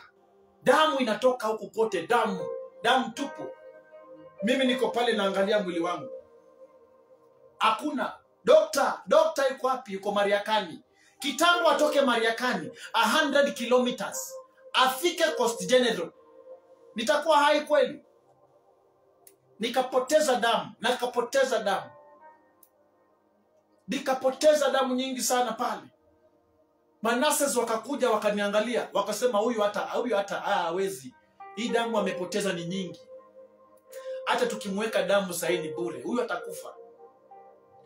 Niko pale the last minute nikafunga macho nikashindwa. Nikafunga macho kabisa. Nikashindwa kabisa. Nilishindwa damu yangu ilimwaika nyingi. My blood. Damu yangu ilimwagika mimi. Mimi nimemwaga damu kwa sababu ya yesu. Damu ikamwagika pale. Niko pale. Nimelala pale kwa kitanda. Nimelala kwa kitanda. Lakini najua nimeisha. Nimetoka kutoka kwa mwili sasa. Ninauangalia mwili wangu. Ninauangalia mwili wangu pale nasikia tu madaktari wakisema atakuja saa ngapi? Atakuja saa tano ama saa sita. Na saa hiyo ni saa kumi na mbili asubuhi. Kitambo ifike saa sita nitakuwa hai kweli? Daktari akasikia roho yake inaenda mbio. Inaenda mbio. Ako mariakani. 100 kilometers from me. Roho yake inaenda mbio. Inaenda mbio hajui kwa nini roho inaenda mbio. Akamwambia daktari mwenzake mimi hata haina haja unitibu. Wacha nikimbie mombasa. Nasikia roho yangu inaenda mbio. Sijui kwa nini. Daktari akatoka akachukua personal pale. Dereva akamchukua akamleta mombasa high speed. Wamespidi mbio wamepita kwa mapolisi roadblock. Wamepita mbio daktari. Hajui kwa nini. Anamwambia twende tu. Kumbe ni mungu amegusa daktari kutoka mariakani. Akuje anitibu kichwa niko pale bado niko in the spirit now. Naangalia mwili wangu pale. Wakaufinika mwili. Walipofinika mwili niko katika roho. Nikasikia uchungu. Nikasikia uchungu sana. Nimemtumikia mungu. Nimetoka kanisani. Nimehubiri njini nimemtumikia mungu. Wengi wamefunguliwa. Alafu mimi ndo ninauawa daktari akakuja. In the next kama 3 4 hours ndo daktari alikuja. Mimi niko flat. Walinichukua wakaniweka mahali sijui ni wapi hapo.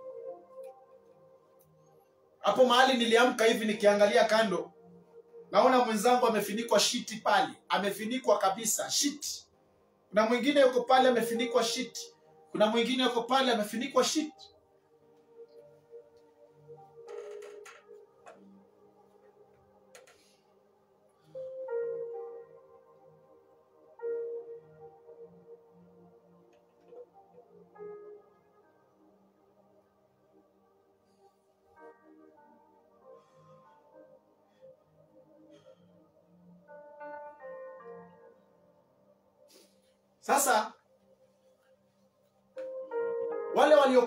waliokuwa pale walikuwa wameshindwa. Wamefinikwa shiti. Mwili wangu uko pale umefinikwa shiti. Sijui nini ikafanyika. Nitakuelezea nini nilikuwa ninaona wakati huo. Nitakuelezea.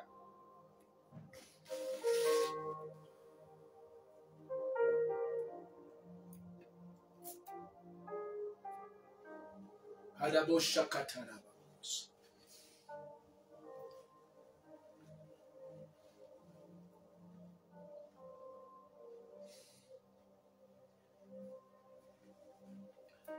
Nitafanya siku nitakuelezea ni nini ambacho yesu alikuwa ananiambia.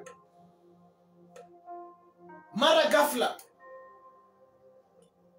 nikarudishwa kwa mwili wangu.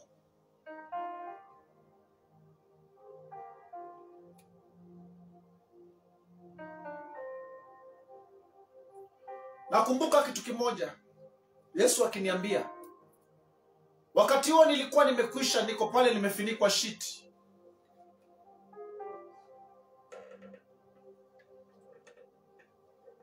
nikajiona nikajiona niko na suitcase yangu. Niko na suitcase yangu. Ninaelekea mbinguni.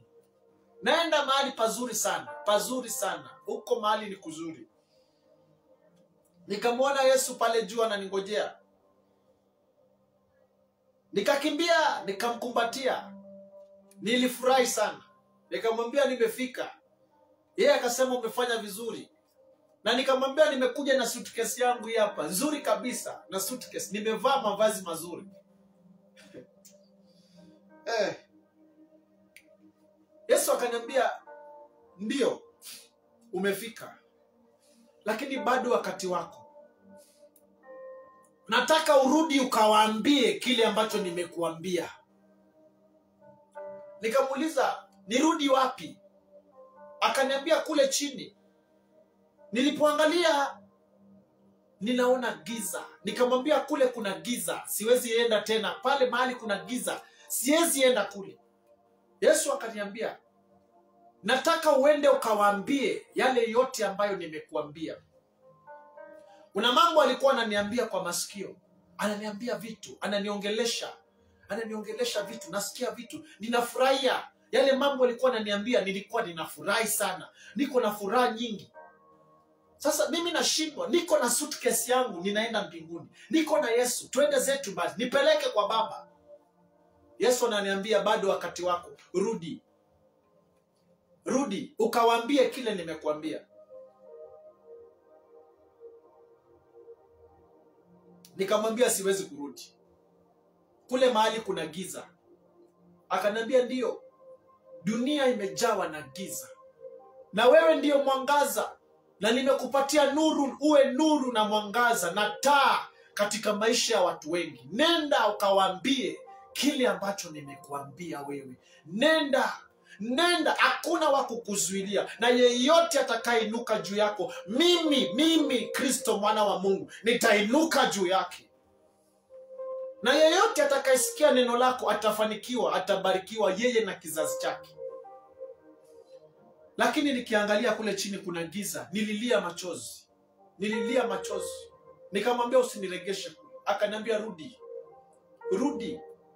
Rudi ukawambie. Usipoenda nani ataenda? Nenda ukawambie mimi bwana mungu wako niko pamoja na wewe.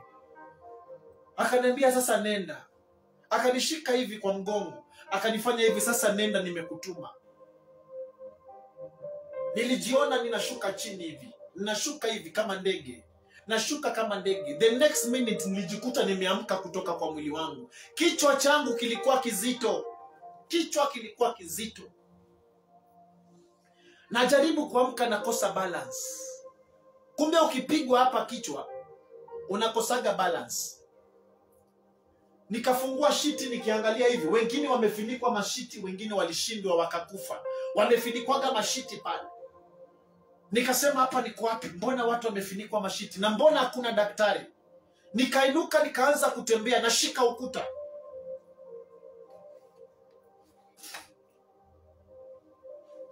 Wacha nitoe hii.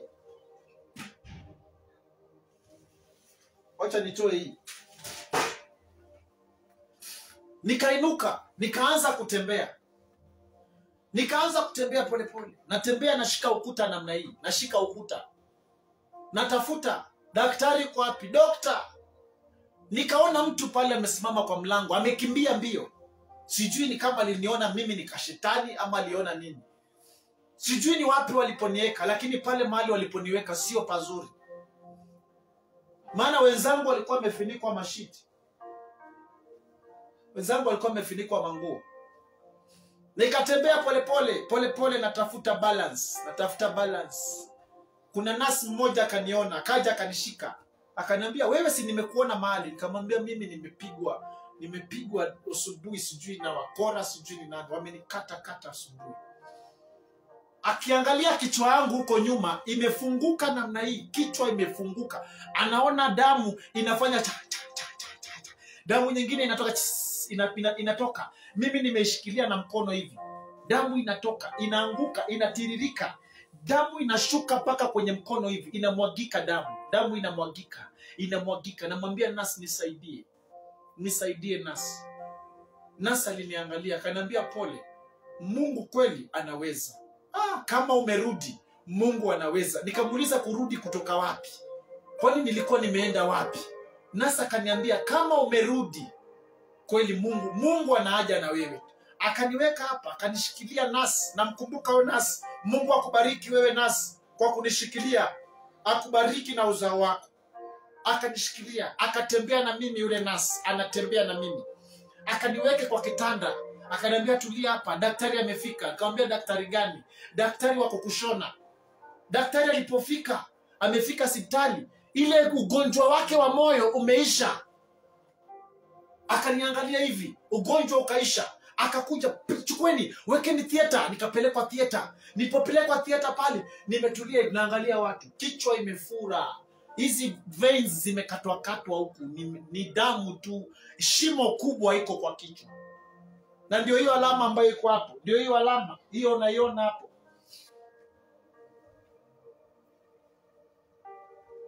Nikawekwa kwa kitanda ya theater pale. Nikakaa kwa ile kitanda akaniambia daktari yule ambaye alikuwa na shida ya moyo yeye ndo sasa kumbe ndio ndio kiongozi wa kufanya hizo maoperation. Akaniangalia yeye ndo surgeon chief surgeon. Akaniangalia akaniambia kijana wangu mbona umeumia na uko na uchungu? Umeumizwa sana. Ausikii uchungu? Nikamwambia mimi niko na uchungu mwingi ambao hauwezi kueleweka. Nimepigwa shoka kwa kichwa. Ulikuwa umetoka wapi? Nimetoka kanisani daktari akatoka machozi. Akasema pole. Kumtumikia mungu imefanya ufanywe hivi?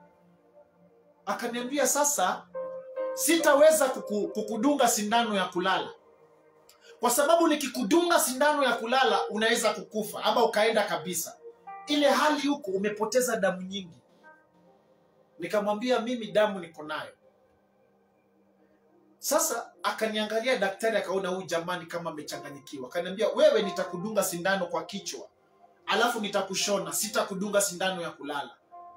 Nikamwambia ni, ni kazi yenyu mimi sijui mimi hiyo mambo mnaongea. Akaja na sindano zimewekwa kwa plate aluminium. Ni kama aluminium plate tu ya aluminium. Imechama visu visu vingi vitu nyingi zimewekwa hapa. Ma, ma, mauziuzi sijui zinakaa vipi. Kuna shindano inakaa namna hii. Imewekwa pale akaniweka pale. Nimekaa ninaangalia kioo. Kuna kioo iko hapo hivyo ninaiangalia.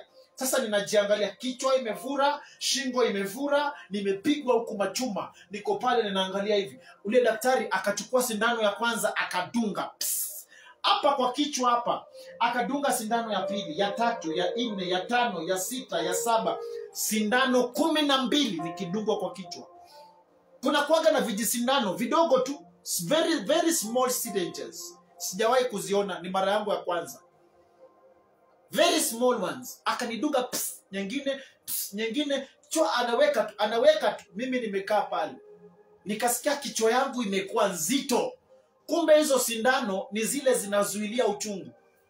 Kichwa imekuwa zito. Nasikia ni kama kuna kitu iko hapa kubwa. Sasa kunishona ndo tatizo. Maana sasa ile shoka ilipoingia walipokuwa umenipiga shoka kutoa ile shoka ilikuwa ni ngumu. Sasa wana, wana struggle ile wanatoa wanapiga tena wanatoa wanapiga tena. Sasa ile shoka ilikuwa imenibomoa bomoa hapa sasa in order kunishona ni ushike hii ngozi ya huku na hii ya huku uzifinye kabisa uni, ili hii ishikane na huku kidogo ishikane ndo ushone. Niko pale ninaangalia mwili. Yesu akakuja tena akasimama kando yangu pale. Yesu akaanza kuniongelesha. Ananiambia kuhusu vile crusade itakuwa. Nilikuwa ninafaa nikuwe na crusade in the next kama two days two days three days. I was supposed to have a crusade. Nimepigwa leo kesho alafu hiyo siku nyingine nitakuwa na crusade. Na nimepigwa leo. Crusade itahubiriwa na nani? Habari zilikuwa zimeshaenea mpaka wat, wa, kwa wachungaji kwa watu wote. Wanajua ah, mchungaji amekufa. Nani? Ah, nabii wa mungu amekufa. Amepigwa shoka. Kwa kichwa amekufa amepigwa vyuma na, na wakora amekufa. Kwa hivyo crusade itabidi uh, tusiairishe mtu mwingine akuje ahubiri kwa niaba yake kuna mchungaji ako pale anaitwa pasta zoka. Pasta zoka kutoka rabai. Zoka mungu akubariki sana mchungaji. Akubariki kwa kusimama na mimi nikiwa na uchungu ule. Abariki uzao wako katika jina la yesu kristo. Hakuna hata mmoja katika uzao wako atakufa kifo cha kishetani. In jesus mighty name. Sikiliza niko pale. Yesu ananiambia crusade. Nani atakuja? Kutakuwa na mama fulani anakuja kuna hii na hii. Ni hii na hii. Mipangilio ya crusade naambiwa na kristo. Yesu anaanza kuniongelesha. Ninaonana na yeye live face to face. Nataka uelewe ya kwamba sio maono.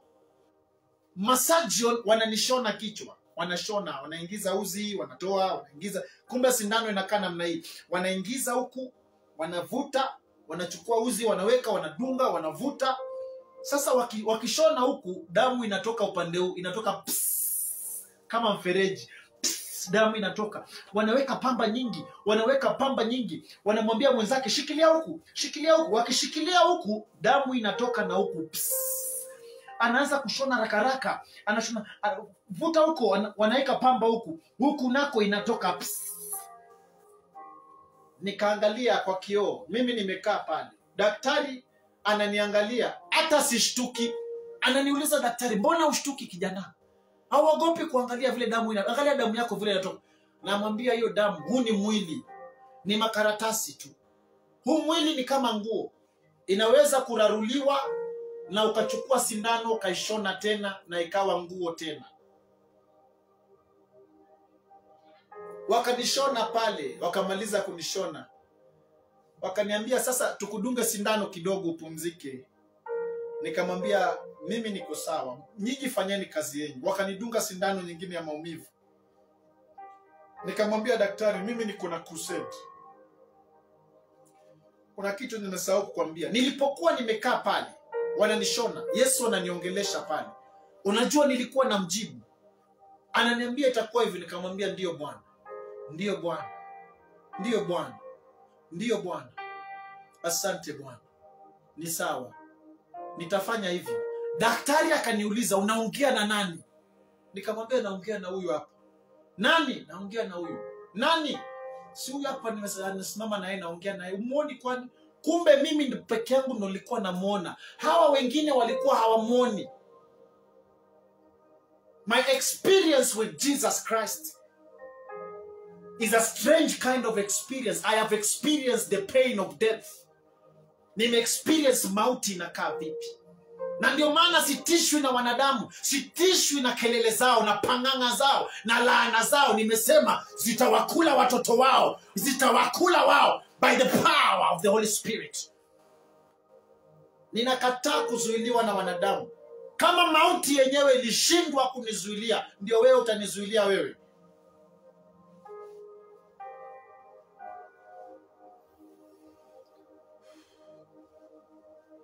uko hapo haujaokoka.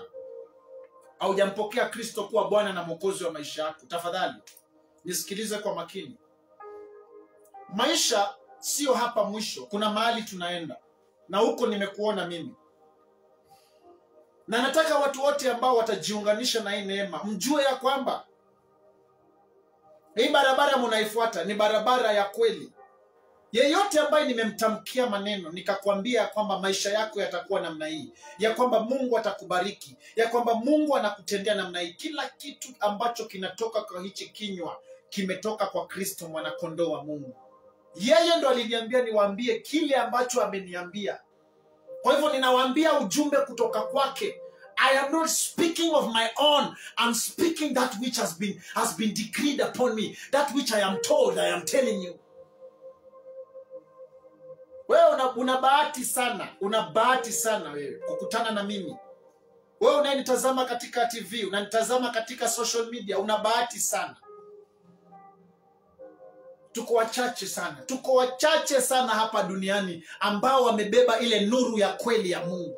Wengine ambao waliitwa na mungu walikuwa convinced na dunia. Dunia ikawa convince wakataka kuwa kama watu wa dunia. Wakataka kuwa kama wao wakataka utajiri wa haraka. Wakakimbilia pesa ya haraka. Na walipopata ile pesa ya haraka wakacorrupt maisha yao na familia zao. Familia zao zikakuwa corrupted. They were enticed by the world and they lost that glory. That spark of fire was lost in them. Usiwe kama wao. Mgojee bwana nafasi yako inakuja. Mngojee bwana. Kila mtu ana nafasi yake. Mngojee mungu wako. Mngojee bwana mungu wako. Hatachelewa hawezi kuchelewa. Mungu wako anakuja at the right time. The time that i needed him to bring me back he was there to sustain me and to bless me. Mi nimepitia mambo mengi nimepitia nimetengwa mpaka na watu wetu. Walinitenga kwa sababu ya yesu. Walinitenga maana waliingilia uchawi. Waliingilia ushetani. Waliingilia uchawi. Ni wachawi wao ni wachawi. Na mi nitasema nyinyi ni wachawi. Na hakuna mahali mnanipeleka. Waliingilia uchawi. Na watu wengi katika familia yetu walikufa. Walikufa kwa sababu ya uchawi. Walikufa wengine wakaingilia ufrimasonry tamaa. Tamaa tu. Tamaa tu inafanya watu wanaingilia vitu visivyofaa. Wakaniambia tuone yesu wako atakupeleka wapi? Nimeng'ang'ana nimeng'ang'ana nimelala nje. Nimenyimwa na wanadamu mahali pa kulala. Wakaninyima wanadamu. Wakaninyima life. Watu ambao nilidhania hawawezi kuninyima. Wengine wakanitenga wakaniona takataka. Huyu hana pesa huyu mhubiri gani huyu? Ana pesa. Mhubiri gani huyu? Nakumbuka nikiwa mombasa kuna wakati nilienda kuhubiri mahali. Nimevaa suti nyingine inakaa awkward. Viatu zangu zinakaa kama za mchina. Nimeomba viatu nimeomba suruali ya chini nimeomba koti ya juu nimeomba mpaka half coat sasa ninakaa awkward. Ni kama watu watano wamevaa nguo pamoja. Sasa nashindwa. Hii nguo ni kubwa hii hapa inakaa kubwa viatu vinakaa vidogo. Sasa viatu vimefinikwa na suruali. Sasa linatembea lakini suruali imefinika viatu zote kwa sababu viatu vinakaa kama za wachinese. Vidogo hivi. Pasta aliniangalia akanicheka. Akaniambia mtu wa mungu wende umekuja kuhubiri? Wacha tupange next time. Nilimwangalia yule mtumishi wa mungu nikasema ni sawa. Mungu akubariki. Nikapiga kona nikaanza kwenda kuna forklift ikakuja forklift iliingia kwa hiyo kanisa ikabomoa hiyo kanisa that same moment. Bo kanisa ikaanza kubomoka. Nikashtuka nini inafanyika? Kumbe hiyo shamba ya hiyo kanisa ni shamba ya mwindi sijui ni mwindi sijui ni mwislamu sijui ni nani. Huyo mwindi alimwambia huyo mchungaji apaondoke pale mahali na sasa huyo mwindi amekuja akaanza kubomoa kanisa tu ghafla. Hata hakumpatia notice. Eh, nilishangaa hiyo forklift ilitoka wapi? Watu zaidi ya kama hamsini wakakuja wakaanza kubomoa hiyo kanisa. Mimi na na, na, na, na, na nguo yangu ambayo imekuwa kubwa na viatu zangu ndogo zinatembea natembea tu kwa town hivi. Naenda kuchukua matatu yangu nikiangalia nyuma kanisa inabomolewa nikaondoka nikasema nashukuru mungu. Kumbe yeye kuniambia nenda utahubiri next time. Washirika wamejaa. Kanisa imepamba moto. Pasta akanikataa kwa sababu ya mavazi yangu. Akanikataa. Kanisa ikabomolewa. Ni mpango wa mungu si mpango wangu.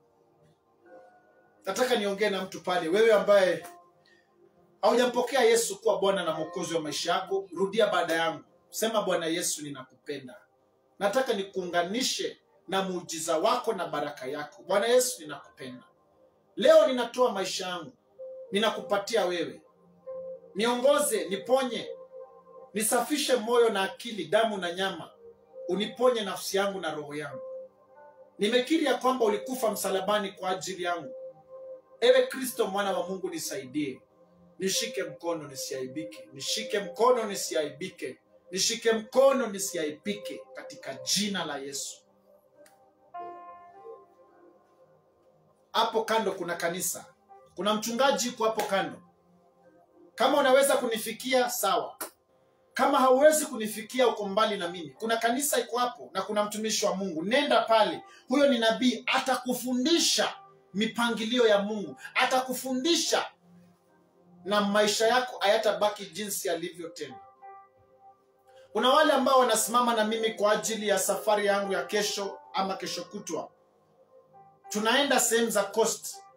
Kuna watu ambao wana shida. Kuna watu ambao wanapaswa kupewa vyakula. Kuna watu wanapitia hali ngumu sana kwa sababu ya kiangazi. Mifugo ilikufa wengi. Wengi wamekufa. Wanadamu wamekonda. Nimeenda nimefanya macrusade. Wengi wamefunguliwa. Wachawi wameporomoka. Na sahii mungu amenipatia mzigo wa kwenda kuwa- kuwapatia chakula wa watu. Namba iko hapo juu. 0795561613 ndio namba hiyo. Tumana pesa yako hapo. Tumana unga. Tumana mafuta. Kuna watu wana uwezo wa kutoa elfu hamsini. Toeni. Kuna watu wana uwezo wa kutoa laki mbili. Usiogope toa. Kuna watu wana uwezo wa kutoa laki tatu niambie tumana usiogope. Whatever you are doing whatever you are doing i promise you you will remember me for this. Utanikumbuka siku moja utakumbuka hii sauti yangu. Utakumbuka hii sauti yangu ya kwamba kuna mtu kuna mtu aliniongelesha na maisha yangu yakabadilika. Tumana sadaka yako tumana fungu la kumi tumana sacrifice yako tumana seed yako tumana eh, fedha za kwenda kusapoti watu kule chini. Tumana. Usitumane kwa kunipimia mimi. Usinipimie. Mimi nimekuja. I have been given a second chance. Nikuhubirie wewe. Shetani alitaka kuniangamiza au ungeniona leo. Lakini yesu akakataa akaniregesha. Tumana fedha zako hapo. Tumana. Tumana kwa wingi. Tumana usiogope. Na nitaweka namba zangu mbili zote hapo za safaricom. Tuma kwa hii kika, hii tumana kote kote tumana pesa yako. Na mungu atakubariki. Na maisha yako hayatabaki jinsi yalivyo. If i be a prophet of god your children will never lack food. Your children will never be slaves. Your children will never hunger in this world. Your children will never be vagabonds. Your marriage is established. Wewe ambaye haujawahi kupata mtoto kwa maisha yako tumia hii platform. Tumia hii platform. Chukua sadaka yako tumana. Tumana fedha zako. Nitumanishieni malaki na malaki ya pesa. Usiogope. Usiogope. Mimi pesa kwangu ni kitu kidogo. Kuna wengi nimewabariki na wana, they are swimming in strange finances. Wana swim na pesa nyingi. Nisikilize. Try this anointing. Try this anointing. Your life will never be the same again in jesus mighty name. Ukuwe na weekend njema ukuwe na jumapili njema ukuwe na ibada njema.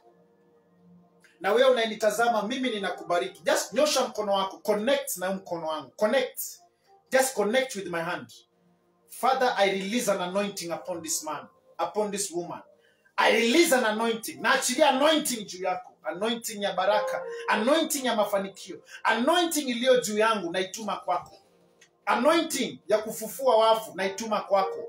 Anointing ya kuua wachawi na kusambaratisha misingi ya giza naituma kwako. Anointing of the prophet naituma kwako naituma kwako naituma kwako. Receive this grace receive this anointing receive this power of the holy spirit in jesus mighty name. You are blessed in jesus name.